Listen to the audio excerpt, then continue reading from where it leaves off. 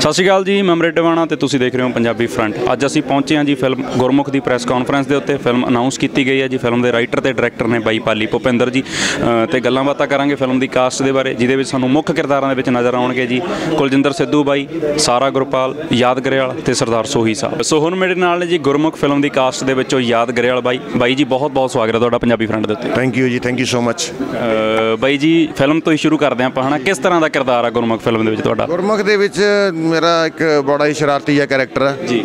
Negative shaded ਹੈ ਥੋੜਾ ਬਹੁਤ ਕਿਤੇ ਕਿਤੇ ਜ਼ਿਆਦਾ ਪਿਓਰ 네ਗੇਟਿਵ ਨਹੀਂ ਹੈ ਟੋਟਲੀ ਗ੍ਰੇ ਵੀ ਨਹੀਂ ਹੈ ਪਰ ਸ਼ਰਾਰਤੀ ਕੈਰੈਕਟਰ ਬਹੁਤ ਅੱਛੇ ਅੱਛੇ ਡਾਇਲੌਗਸ ਨੇ। ਤੇ ਬੜਾ ਮਜ਼ਾ ਆਊਗਾ। ਜੀ ਜੀ ਜੀ। ਫੁੱਲ ਐਂਟਰਟੇਨ ਕਰਾਂਗੇ। ਜੀ। ਬਾਈ ਜੀ ਜੇ ਪਿਛਲੇ ਕਿਰਦਾਰਾਂ ਦੀ ਗੱਲ ਕਰੀ ਜਾਵੇ ਕਾਫੀ 네ਗੇਟਿਵ ਕਿਰਦਾਰ ਤੁਸੀਂ ਨੇ ਕੀਤੇ ਨੇ। ਕਿਸੇ ਟਾਈਮ ਪੁਆਇੰਟ ਤੇ ਆ ਕੇ ਇਹ ਨਹੀਂ ਲੱਗਦਾ ਵੀ ਹੁਣ ਥੋੜੇ ਜਿਹਾ ਕੁਝ ਪੋਜ਼ਿਟਿਵ ਕਿਰਦਾਰ ਕਰਾਂ ਜਾਂ ਕੁਝ ਵੱਖਰਾ ਮਤਲਬ ਅਲੱਗ ਕਿਰਦਾਰ ਅਲੱਗ ਕਰਾਂ। ਕਿਉਂਕਿ 네ਗੇਟਿਵ ਸ਼ੇਡ ਦੇ ਵਿੱਚ ਤੁਸੀਂ ਬਹੁਤ ਜ਼ਿਆਦਾ ਵੇਰੀਏਸ਼ਨ ਦੇ ਵੀ ਰਹੇ ਹੋ ਪਹਿਲਾਂ ਦੇ ਵੀ ਚੁੱਕੇ ਹੋ। ਜੀ ਜੀ। ਹਾਂ ਬਿਲਕੁਲ ਹੁੰਦਾ ਬਟ ਗੱਲ ਐ ਕਿ ਨਾ ਤੁਹਾਡੇ ਜਿਵੇਂ ਹੁਣ ਫਿਲਮਾਂ ਬਣ ਰਹੀਆਂ ਤੁਹਾਨੂੰ ਕੀ ਆਫਰ ਹੋ ਰਿਹਾ। ਫਿਲਹਾਲ ਜੋ ਆਫਰ ਹੋ ਰਿਹਾ ਸੀ ਆਪਾਂ ਕਰ ਰਹੇ ਸੀ ਗਰੋ ਕਰ ਰਹੇ ਸੀ। ਹੁਣ ਅੱਗੇ ਤੁਹਾਨੂੰ ਆਉਣ ਵਾਲੇ ਸਮੇਂ ਦੇ ਵਿੱਚ ਹੋਰ ਵੀ ਬਹੁਤ ਕੁਝ ਮਿਲੇਗਾ ਪੋਜ਼ਿਟਿਵ ਵੀ ਦੇਖਣ ਨੂੰ ਮਿਲੂਗਾ ਹੋ ਸਕਦਾ ਕਾਮਿਕ ਦੇ ਵਿੱਚ ਵੀ ਥੋੜਾ ਬਹੁਤ ਦੇਖਣ ਨੂੰ ਮਿਲੇ ਕਿਉਂਕਿ ਮੇਰੀ ਕਾਮੇਡੀ ਜਿਹੜੀ ਹੁੰਦੀ ਆ ਉਹ ਤਾਂ ਹੁੰਦੀ ਨਹੀਂ ਪੰਚ ਕਾਮੇਡੀ ਨਹੀਂ ਹੁੰਦੀ ਸਿਚੁਏਸ਼ਨਲ ਕਾਮੇਡੀ ਹੁੰਦੀ ਆ ਉਹ ਤੁਹਾਨੂੰ ਦੇਖਣ ਨੂੰ ਮਿਲੇਗੀ। ਬਾਕੀ ਆਉਣ ਵਾਲੀ ਫਿਲਮਾਂ ਦੇ ਵਿੱਚ ਹੀਰੋ ਵੀ ਦੇਖਣ ਨੂੰ ਮਿਲਾਂਗਾ ਤੁਹਾਨੂੰ ਮੈਂ। ਐਜ਼ ਐਕਸ਼ਨ ਕਰਦਾ ਹੋਇਆ।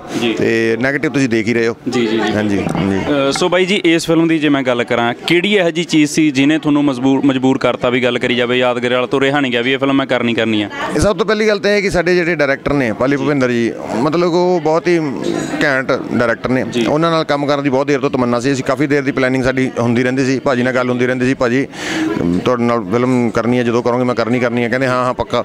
ਤੇ ਬਹੁਤ ਦੇਰ ਦੀ ਤਮੰਨਾ ਸੀ ਕਿ ਪਾਲੀ ਭਾਜੀ ਨਾਲ ਇਹੋ ਜਿਹੇ ਮਤਲਬ ਕਿ ਵਧੀਆ ਡਾਇਰੈਕਟਰ ਨੇ ਇਹਨਾਂ ਨਾਲ ਕੰਮ ਕੀਤਾ ਜਾਵੇ ਕ੍ਰੀਏਟਿਵ ਬੰਦੇ ਨੇ ਵਧੀਆ ਚੀਜ਼ ਪੇਸ਼ ਕਰਨਗੇ। ਜੀ। ਤੇ ਇਸ ਕਰਕੇ ਸਭ ਤੋਂ ਪਹਿਲੀ ਤਾਂ ਗੱਲ ਇਹੀ ਸੀ ਕਿ ਡਾਇਰੈਕਟਰ ਨੇ ਜਿਹੜੇ ਉਹਨਾਂ ਕਰਕੇ ਇਹ ਫਿਲਮ ਮੈਂ ਕਰਨੀ ਚਾਹੁੰਦਾ ਸੀਗਾ। ਜੀ ਜੀ ਬਾਈ ਜੀ ਪੰਜਾਬੀ ਫਿਲਮਾਂ ਦੀ ਅੱਜ ਦੇ ਟਾਈਮ ਦੀ ਜੇ ਮੈਂ ਗੱਲ ਕਰਾਂ ਹਨਾ ਬਾਲੀਵੁੱਡ ਨਾਲ ਆਪਾਂ ਕੰਪੇਅਰ ਕਰਕੇ ਦੇਖੀਏ ਤੁਹਾਨੂੰ ਕੀ ਲੱਗਦਾ ਵੀ ਕਿਸ ਤਰ੍ਹਾਂ ਦੀਆਂ ਫਿਲਮਾਂ ਹਜੇ ਪੰਜਾਬੀ ਇੰਡਸਟਰੀ ਦੇ ਵਿੱਚ ਨਹੀਂ ਬਣ ਰਹੀਆਂ ਜਿਹੜੀਆਂ ਬਣਨੀਆਂ ਚਾਹੀਦੀਆਂ ਨੇ? ਬਾਲੀਵੁੱਡ ਨਾਲ ਕੰਪੇਅਰ ਕਰਕੇ ਜੇ ਗੱਲ ਕਰੀ ਜਾਵੇ। ਨਹੀਂ ਹੁਣ ਤਾਂ ਖੈਰ ਅ, ਮੈਨੂੰ ਲੱਗਦਾ ਕਿ ਆਪਾਂ ਉਧਰ ਨੂੰ ਚੱਲ ਪਏ ਆ ਉਧਰ ਦੀਆਂ ਫਿਲਮਾਂ ਆ ਰਹੀਆਂ ਕਿਉਂਕਿ ਮੈਂ ਹੁਣ ਇੱਕ ਦੋ ਫਿਲਮਾਂ ਕੀਤੀਆਂ। ਇੱਕ ਮੈਂ ਇਸ਼ਕ ਕੀਤੀ ਆ ਲਵ ਸਟੋਰੀ ਆ ਟੋਟਲੀ ਜਿਵੇਂ ਆਪਣੀ ਹੁੰਦੀ ਆ ਬਾਲੀਵੁੱਡ ਦੀ ਲਵ ਸਟੋਰੀ ਉਦਾਂ ਦੀ ਹੈਗੀ ਆ ਉਹ। ਉਸ ਤੋਂ ਬਾਅਦ ਫਿਰ ਅ, ਜੱਦੀ ਸਰਦਾਰ ਉਹ ਵੀ ਕੰਟੈਂਟ ਬੇਸ ਹੈ।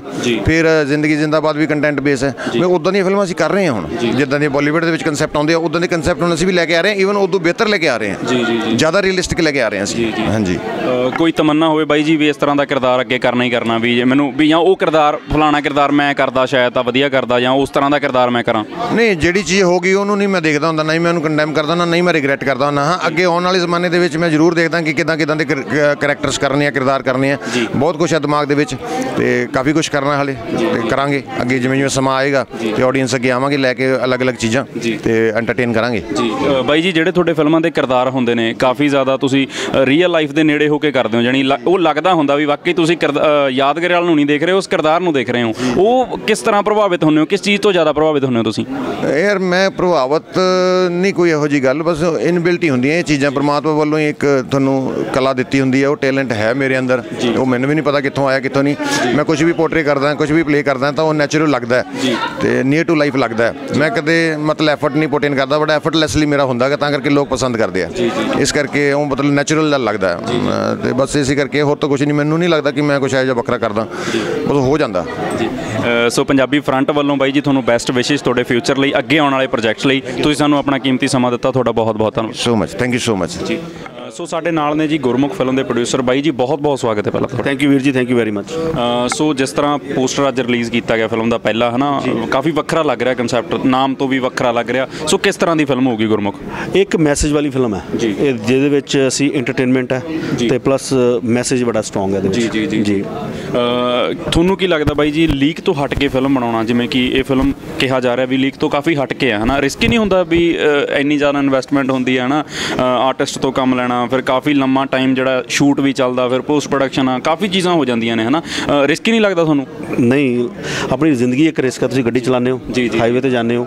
ਉਹ ਵੀ ਰਿਸਕੀ ਆ ਪਤਾ ਨਹੀਂ ਕਿੰਨੇ ਅੱਗੇ ਠੋਕ ਦੇਣਾ ਆਪ ਤਾਂ ਸਮਝਦਾਰ ਹੋ ਕੇ ਚੱਲਦੇ ਆ ਕਿਉਂਕਿ ਪੰਜਾਬੀ ਫਿਲਮਾਂ ਜੋ ਇਸ ਦੌਰ ਦੇ ਵਿੱਚ ਬਣ ਰਹੀਆਂ ਨੇ ਕਿਤੇ ਨਾ ਕਿਤੇ ਉਹੀ ਕਨਸੈਪਟ ਚੂਜ਼ ਕਰੇ ਜਾ ਰਹੇ ਨੇ ਜਿਹੜੇ ਦਰਸ਼ਕਾਂ ਨੂੰ ਪਹਿਲਾਂ ਪਸੰਦ ਆਏ ਹੋਣੇ ਆਲਰੇਡੀ ਸੋ ਇਹ ਵੱਖਰੀ ਹੈ ਜਿਹੜੀਆਂ ਕਿ ਇਸ ਵੇਲੇ ਜਿਹੜੀਆਂ ਆਲੇ ਦੁਆਲੇ ਆਪਣਾ ਮਾਹੌਲ ਚੱਲ ਰਿਹਾ ਡੇਲੀ ਜਿਹੜੀਆਂ ਫਿਲਮਾਂ ਬਣ ਰਹੀਆਂ ਨੇ ਕਾਮੇਡੀ ਨੇ ਰਾਈਟ ਉਹਨਾਂ ਵਿੱਚ ਬਹੁਤ ਚੰਗੀ ਗੱਲ ਹੈ ਕਾਮੇਡੀ ਹੋਣੀ ਚਾਹੀਦੀ ਹੈ ਪਰ ਜਿਹੜਾ ਇਹ ਸਬਜੈਕਟ ਹੈ ਸਾਡਾ ਟੋਟਲੀ ਡਿਫਰੈਂਟ ਹੈ ਕਿ ਸਮਾਜ ਵਿੱਚ ਜੋ ਚੀਜ਼ਾਂ ਹੋ ਰਹੀਆਂ ਸਾਨੂੰ ਉਹ ਵੀ ਤਾਂ ਦਿਖਾਣੀਆਂ ਚਾਹੀਦੀਆਂ ਨੇ। ਜੇ ਅਸੀਂ ਉਹ ਉਹ ਚੀਜ਼ਾਂ ਨਹੀਂ ਦਿਖਾਵਾਂਗੇ ਤਾਂ ਫਿਰ ਕੀ ਫਾਇਦਾ? ਤੁਸੀਂ ਆਮ ਫਿਲਮਾਂ ਤੇ ਪੈਸਾ ਲਾਈ ਜਾ ਰਹੇ ਹੋ ਪਰ ਫਿਲਮ ਫਿਲਮ ਜਦੋਂ ਸ਼ੁਰੂ ਹੋਈ ਸੀ ਜਦੋਂ ਫਿਲਮਾਂ ਬਣਨੀਆਂ ਸ਼ੁਰੂ ਹੋਈ ਸੀ ਇੱਕ ਮੈਸੇਜ ਵਾਸਤੇ ਸੀਗੀਆਂ ਸਾਰੀਆਂ ਫਿਲਮਾਂ। ਤੇ ਉਹ ਹੌਲੀ ਹੌਲੀ ਜਦੋਂ ਲੋਕਾਂ ਨੂੰ ਸਮਾਜ ਦੇ ਅੱਗੇ ਪੜਦੇ ਅੱਗੇ ਕੋਈ ਚੀਜ਼ ਆਂਦੀ ਹੈ ਲੋਕੀ ਦੇਖਦੇ ਨੇ ਸੋਚਦੇ ਨੇ ਆ ਯਾਰ ਆ ਚੀਜ਼ ਨਹੀਂ ਹੋਣੀ ਚਾਹੀਦੀ। ਜਾਗਰੂਕਤਾ ਵੀ ਹੋਣੀ ਚਾਹੀਦੀ ਹੈ। ਸਾਡੀ ਫਿਲਮ ਦੇ ਵਿੱਚ ਟੋਟਲੀ ਜਾਗਰਿਤ ਜਾਗਰੂਕਤਾ ਹੀ। ਹੈ ਸੋ ਫਿਲਮ ਦੇ ਸੈਕੰਡ ਪ੍ਰੋਡਿਊਸਰ ਸਾਹਿਬ ਵੀ ਸਾਡੇ ਨਾਲ ਨੇ ਜੀ। ਇਹਨਾਂ ਨਾਲ ਵੀ ਆਇਓ ਗੱਲਬਾਤ ਕਰਦੇ ਆ ਬਾਈ ਜੀ ਬਹੁਤ ਬਹੁਤ ਸਵਾਗਤ ਹੈ ਤੁਹਾਡਾ ਪੰਜਾਬੀ ਫਰੰਟ ਤੇ। ਬਹੁਤ ਬਹੁਤ ਮਿਹਰਬਾਨੀ ਸ਼ੁਕਰੀਆ ਜੀ। ਜੀ। ਤੁਹਾਨੂੰ ਫਿਲਮ ਤਾਂ ਦੇਖੋ ਹਰ ਵਾਰੀ ਬਹੁਤ ਸਾਰੀਆਂ ਰੈਗੂਲਰ ਬਣ ਵੀ ਰਹੀਆਂ। ਪਰ ਇੱਕ ਅਲੱਗ ਸ਼ਿੱਦਤ ਦੇ ਨਾਲ ਇੱਕ ਅਲੱਗ ਥੋੜਾ ਜਿਹੜਾ ਐਂਥੂਸੀਜ਼ਮ ਹੈ ਥੋੜਾ ਜਿਹੜੀ એનર્ਜੀ ਉਹਦੇ ਹਿਸਾਬ ਨਾਲ ਇੱਕ ਨਵੀਂ ਚੀਜ਼ ਬਣ ਜਾ ਰਹੀ ਹੈ। ਤੇ ਕੁਝ ਸਭ ਤੋਂ ਵੱਡੀ ਗੱਲ ਹੈ ਕਿ ਇਹਦੇ ਵਿੱਚ ਇੱਕ ਮੁੱਦਾ ਹੈਗਾ ਜਿਹਨੂੰ ਅਸੀਂ ਲੈ ਕੇ ਚੱਲਣਾ ਹੈ। ਮਤਲਬ ਕੋਵਿਡੀ ਤਾਂ ਨੋ ਡਾਊਟ ਐਂਟਰਟੇਨ ਤਾਂ ਕਰਨਾ ਹੀ ਹੈ ਸਭ ਨੂੰ ਪਰ ਇੱਕ ਮੁੱਦੇ ਨੂੰ ਲੈ ਕੇ ਇਹ ਚੀਜ਼ ਬਣਨੀ ਹੈ ਤੇ ਬੜੇ ਜਿਸ ਹਿਸਾਬ ਦੇ ਵਿੱਚ ਫਿਲਮ ਬਣਨੀ ਚਾਹੀਦੀ ਹੈ ਉਹਦੇ ਵਿੱਚ ਕੋਈ ਫੁਕਰਾਪੰਤੀ ਵਾਲੀ ਗੱਲ ਨਹੀਂ ਹੈਗੀ ਜਿਸ ਹਿਸਾਬ ਨਾਲ ਖਰਚੇ ਹੋਣੇ ਚਾਹੀਦੇ ਆ ਉਸ ਹਿਸਾਬ ਨਾਲ ਅਸੀਂ ਕਰਾਂਗੇ ਕਿਉਂਕਿ ਸਾਰੇ ਐਕਸਪੀਰੀਅੰਸਡ ਹੋਲਡਰ ਨੇ ਸਾਰੇ ਚਾਹੇ ਉਹ ਪ੍ਰੋਡਿਊਸਰਸ ਨੇ ਕੋਈ ਜਿੰਨੇ ਐਕਟਰਸ ਨੇ ਡਾਇਰੈਕਟਰਸ ਨੇ ਸਟੋਰੀ ਵਾਲੇ ਨੇ ਸਾਰੇ ਲੋਕ ਆਪਣੇ ਐਕਸਪੀਰੀਅੰਸਡ ਬੰਦੇ ਨੇ ਤੇ ਤੁਹਾਨੂੰ ਦੇਖੋ ਅੱਛੀ ਚੀਜ਼ ਮਿਲੇਗੀ। ਬਾਈ ਜੀ ਐਜ਼ ਅ ਪ੍ਰੋਡਿਊਸਰ ਜੇ ਮੈਂ ਗੱਲ ਕਰਾਂ ਤੁਹਾਨੂੰ ਕੀ ਲੱਗਦਾ ਕਿਹੜੀਆਂ ਚੀਜ਼ਾਂ ਚੈਲੰਜਿੰਗ ਹੁੰਦੀਆਂ ਨੇ? ਕਿਉਂਕਿ ਪਹਿਲਾਂ ਵੀ ਤੁਸੀਂ ਇੱਕ ਫਿਲਮ ਕਰ ਚੁੱਕੇ ਹੋ ਨਾ ਕਿਹੜੀਆਂ ਚੀਜ਼ਾਂ ਜਿਹੜੀਆਂ ਪ੍ਰੋਬਲਮਸ ਵੀ ਕਹਿ ਸਕਦਾ ਮੈਂ ਕਿਹੜੇ ਮੁੱਦੇ ਨੇ ਜਿਹੜੇ ਚੈਲੰਜ ਲੱਗਦੇ ਨੇ ਤੁਹਾਨੂੰ? ਇਹਦੇ ਵਿੱਚ ਸਭ ਤੋਂ ਵੱਡਾ ਚੈਲੰਜ ਹੁੰਦਾ ਪ੍ਰੋਡਕਸ਼ਨਸ ਦਾ। ਜੀ। ਤੁਹਾਡੇ ਨਾਲ ਟੀਮ ਕਿੱਦਾਂ ਦੀ ਜੁੜਦੀ ਹੈ ਜੀ। ਟੀਮ ਜਿਹੜੀ ਤੁਹਾਡੇ ਨਾਲ ਕੰਮ ਕਰਦੀ ਹੈ ਉਹ ਉਸ ਪ੍ਰੋਡਕਸ਼ਨ ਹਾਊਸ ਨੂੰ ਜੀ। ਆਪਣਾ ਪ੍ਰੋਡਕਸ਼ਨ ਹਾਊਸ ਸਮਝ ਕੇ ਕੰਮ ਕਰਦੀ ਹੈ ਜਾਂ ਉਹ ਕਹਿੰਦੇ ਕਿ ਮੁਰਗੀ ਆਈ ਆ ਜੀ। ਵੱਡੋ ਤੇ ਖਾਓ। ਜੀ। ਇਹ ਚੀਜ਼ਾਂ ਬਹੁਤ ਦਿਖਦੀਆਂ ਪਰ ਮੈਂ ਪਿਛਲੀ ਫਿਲਮ 'ਚ ਮੈਨੂੰ ਬਹੁਤ ਚੈਲੰਜ ਦੇਖਣ ਨੂੰ ਮਿਲੇ। ਜੀ। ਤੇ ਕਹਿੰਦੇ ਤੁਸੀਂ ਆਪਣੀਆਂ ਮਿਸਟੇਕ ਤੋਂ ਲਰਨ ਕਰਦੇ ਹੋ ਰਾਈਟ ਆਪਾਂ ਖੜੇ ਜੀ। ਆ ਉਸ ਬਾਬੇ ਦਾ ਨਾਮ ਲੈ ਕੇ। ਉਹ ਆਪਾਂ ਆਪਣੇ ਮਨ 'ਚ ਸਾਫ਼ ਹੈ। ਜਨ- ਜੋ ਤੁਹਾਡੇ ਸਾਹਮਣੇ ਲਾ ਦੇਖੋ ਜੇ ਤੁਸੀਂ ਮੇਰੇ ਨਾਲ ਅੱਜ ਕੰਮ ਕਰ ਰਹੇ। ਹੋ ਰਾਈਟ ਤੁਸੀਂ ਅੱਜ ਫਰੰਟ ਮੀਡੀਆ ਨਾਲ ਕੰਮ front Punjabi front media right ਤੁਸੀਂ ਇਹਨਾਂ ਨਾਲ ਕੰਮ ਕਰਦੇ ਹੋ। ਕਾਫੀ ਅਰਸਾ ਹੋ ਗਿਆ ਨਾ ਤੁਹਾਨੂੰ। ਤੁਹਾਨੂੰ ਪਤਾ ਕਿ ਤੁਹਾਡਾ ਆਪਣਾ ਮੀਡੀਆ ਵਾ ਰਾਈਟ ਜੀ, ਤੁਸੀਂ ਤਾਂ ਹੀ ਅੱਗੇ ਵਧ ਰਹੇ ਹੋ। ਤੁਹਾਨੂੰ ਇਹ ਚਾਹੇ ਨਹੀਂ ਇਸੇ ਕਰਕੇ ਜਿਹੜੀ ਟੀਮ ਹੁਣ ਪਿਛਲੀ ਵਾਰੀ ਟੀਮਾਂ ਜੁੜਦੀਆਂ ਨੇ ਆਂਦੀਆਂ ਨੇ ਇਸ ਕਰਕੇ ਹੁਣ ਐਕਤੀ ਸਾਡੀ ਜਿਹੜੀ ਨਵੀਂ ਟੀਮ ਜੁੜੀ ਹੋਈ। ਹੈ ਤੇ ਸਾਰਿਆਂ ਨਾਲ ਬੈਠ ਕੇ ਇਹੀ ਗੱਲ ਕੀਤੀ ਹੈ ਕਿ ਇਹ ਆਪਣਾ ਇਹ ਚ ਰਾਣੇ ਦੇ ਪੈਸੇ ਨਹੀਂ। ਹੈ। ਇਹ ਚ ਢਿੱਲੋਂ ਸਾਹਿਬ ਦੇ ਪੈਸੇ ਨਹੀਂ ਹੈ। ਇਹ ਸਾਡੀ ਪਿੱਛੇ ਗਰੁੱਪ ਹੈ ਜਿਨ੍ਹਾਂ ਦਾ ਪੈਸਾ ਉਹਨਾਂ ਨੇ ਸਾਨੂੰ ਅੱਗੇ ਕੀਤਾ ਹੈ ਤੇ ਅਸੀਂ ਉਹਨਾਂ ਨੂੰ ਉਨ ਉਮੀਦਾਂ ਦੇ ਖਰੇ ਉਤਰਨਾ ਵਾ। ਨਾਮ ਚਾਹੇ ਮੇਰਾ ਵਾ ਢਿੱਲੋਂ ਸਾਹਿਬ ਦਾ ਵਾ ਪਾਲੀ ਭਾਜੀ ਦਾ ਵਾ ਉਹਨਾਂ ਨੇ ਡਾਇਰੈਕਟ ਕਰਨੀ ਹੈ।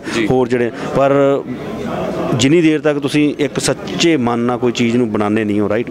ਉਨੀ ਦੇਰ ਤੱਕ ਕੁਝ ਸਫਲਤਾ ਨਹੀਂ ਹਾਸਲ ਹੁੰਦੀ ਰਾਈਟ ਤੇ ਇਸੇ ਕਰਕੇ ਅਸੀਂ ਦੁਬਾਰਾ ਰਿਪੀਟ ਹੋਏ ਹਾਂ ਜੀ। ਕਿਉਂਕਿ ਅਸੀਂ ਸਟਰੋਂਗ ਸੀਗੇ ਸਾਡੀ ਨਾਲ ਟੀਮ 'ਚ ਉਹਨਾਂ ਨੂੰ ਮੇਰੇ ਤੇ ਵਿਸ਼ਵਾਸ ਸੀ। ਨੁਕਸਾਨ ਹੋਇਆ ਨੁਕਸਾਨ ਕਿਹੜੀ ਚੀਜ਼ ਨਹੀਂ ਹੁੰਦਾ ਸਾਰੀ ਜਗ੍ਹਾ 'ਚ ਨੁਕਸਾਨ ਹੁੰਦੇ ਆ ਰਾਈਟ ਪਰ ਤੁਹਾਨੂੰ ਪਤਾ ਹੋਣਾ ਚਾਹੀਦਾ ਹੁਣ ਪਿਛਲੇ ਅਸੀਂ ਬਹੁਤ ਕੁਝ ਲਰਨ ਕੀਤਾ ਤਾਂ ਹੁਣ ਜਿਹੜੀ ਅਸੀਂ ਅਗਲੇ ਵਾਰੀ ਹਰੇਕ ਫਿਲਮ ਦੇ ਵਿੱਚ ਸਾਡਾ ਤੁਹਾਨੂੰ ਐਕਸਪੀਰੀਅੰਸ ਮਿਲਦਾ।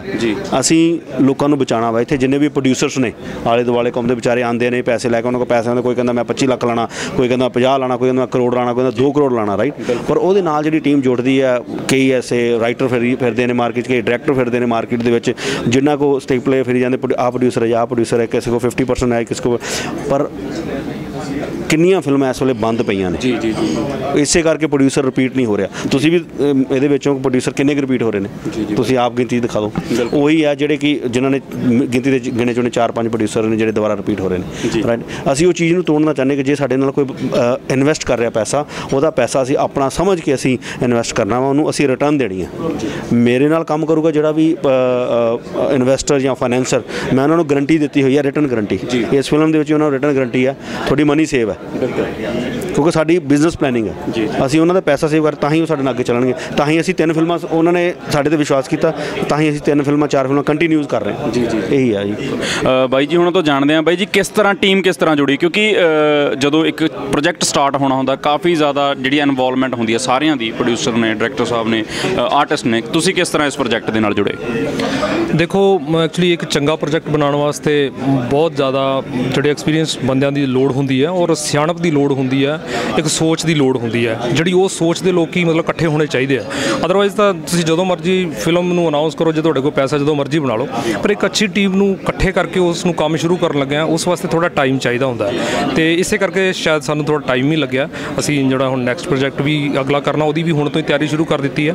ਤੇ ਇਹਦੇ ਵਿੱਚ ਇਹ ਹੀ ਹੈ ਕਿ ਸਾਰੇ ਲੋਕ ਜਿਹੜੇ ਆ, ਬੜੇ ਸੋਚ ਸੋਚ ਕੇ ਕਿਉਂਕਿ ਜਿਸ ਤਰ੍ਹਾਂ ਹੁਣ ਤੁਸੀਂ ਸਭ ਤੋਂ ਪਹਿਲਾਂ ਜੇ ਰਾਣਾ ਬਾਜੀ ਦੀ ਗੱਲ ਕਰੀਏ, ਕਿ ਇਹ ਇਹ ਵੀ ਕਿਉਂਕਿ ਬਹੁਤ ਸਾਲਾਂ ਤੋਂ ਫਿਲਮ ਇੰਡਸਟਰੀ ਦੇ ਨਾਲ ਜੁੜੇ ਹੋਏ ਨੇ, ਇਹ ਹਿੰਦੀ ਫਿਲਮਸ ਨਾਲ ਵੀ ਜੁੜੇ ਹੋਏ ਸੀ, ਇਹਨਾਂ ਨੇ ਪੰਜਾਬੀ ਹੁਣ ਬੰਜਾਰਾ ਜਿਹੜੀ ਕੀਤੀ ਆ, ਉਹ ਤੋਂ ਬਹੁਤ ਕੁਝ ਸਿੱਖਣ ਨੂੰ ਮਿਲਿਆ।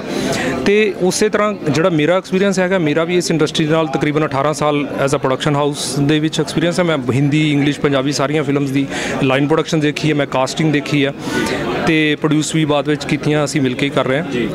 ਤੇ ਉਹ ਚੀਜ਼ਾਂ ਵੀ ਮਾਇਨੇ ਰੱਖਦੀਆਂ ਇੰਨੇ ਸਾਲ ਹੋ ਗਿਆ ਕੁਛ ਨਾ ਕੁਛ ਤਾਂ ਜ਼ਰੂਰ ਸਿੱਖਿਆ ਹੀ ਹੋਣਾ ਸ਼ਾਇਦ ਸਾਨੂੰ ਲੱਗਦਾ ਹੈ। ਤੇ ਉਸੇ ਤਰੀਕੇ ਨਾਲ ਸਾਡੇ ਜਿਹੜੇ ਹੁਣ ਕੈਪਟਨ ਜਿਨ੍ਹਾਂ ਨੂੰ ਲਾਓ, ਸਾਡੇ ਡਾਇਰੈਕਟਰ ਨੇ, ਜਿਨ੍ਹਾਂ ਨੇ ਸਟੋਰੀ ਲਿਖੀ ਹੈ, ਜਿਨ੍ਹਾਂ ਨੇ ਉਹਦਾ ਸਕਰੀਨ ਪਲੇ ਲਿਖਿਆ ਡਾਇਲੌਗਸ ਵੀ ਲਿਖੇ ਨੇ, ਉਹ ਉਹ ਵੀ ਇੰਨੇ ਕੁ ਭਰੋਸੇਯੋਗ ਬੰਦੇ ਨੇ ਕਿ ਵੀ ਮਤਲਬ ਸਾਰਾ ਸਾਰਾ ਪੰਜਾਬ ਦੇਖੋ ਉਹਨਾਂ ਤੇ ਵਿਸ਼ਵਾਸ ਕਰਦਾ ਹੈ, ਉਹਨਾਂ ਦੀ ਰਾਈਟਿੰਗ ਤੇ ਔਰ ਉਹਨਾਂ ਦੀ ਸੋਚ ਤੇ ਵੀ।